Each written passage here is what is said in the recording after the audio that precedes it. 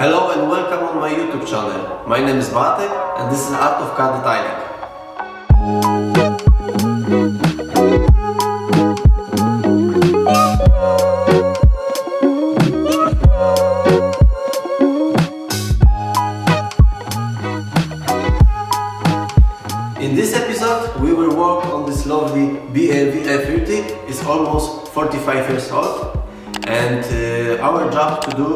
Is remove old ceramic coating, make paint correction and this lovely red paint great again. Stay tuned, you can watch also our previous movies and uh, hope you will enjoy. We will go back to work.